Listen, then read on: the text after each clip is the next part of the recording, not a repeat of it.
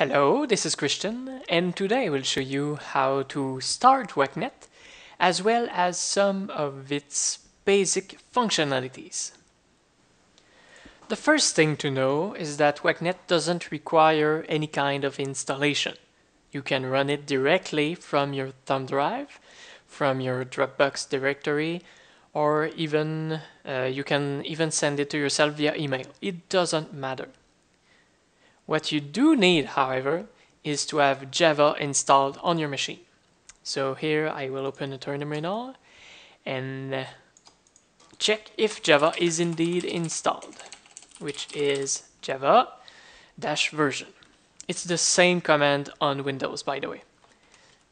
So when I'll press enter, if I have Java, I will see the version. If I don't have Java, I will have an error message instead. So enter, and ta-da, I have Java on this machine. Now that I know that, I can run WACnet by typing java space dash jar uh, space the file name, enter,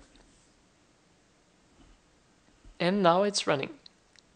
Okay, so the local, I'm sorry, the web interface is available at localhost 47800. So on my browser, I'll go to localhost 47800.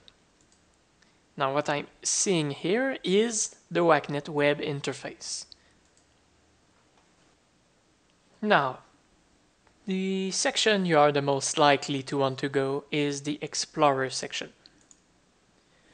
As you can see, the interface is almost identical to the Vigilia interface, which is to say devices on the left and device objects on the right. You can see the names, descriptions, values, units, and two little buttons. The first button is to give you access to the Vigilia uh, historical data if you have it enabled. And the second button is to let you see all the BACnet properties, all those that are not shown here.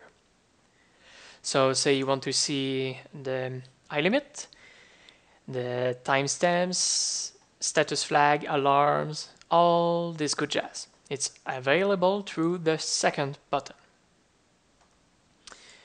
Now you have a little filtering bar at the top so I can keep all the objects which have, uh, let's say, analog in it, or binary, or even, oh yeah, I want to show you the trend logs.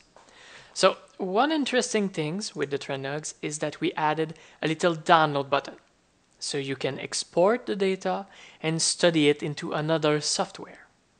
So here I'm going to download the trend log number 7 and open it into my favorite spreadsheet software. And ta-da! As you can see, I have the timestamps at the left and the values at the right.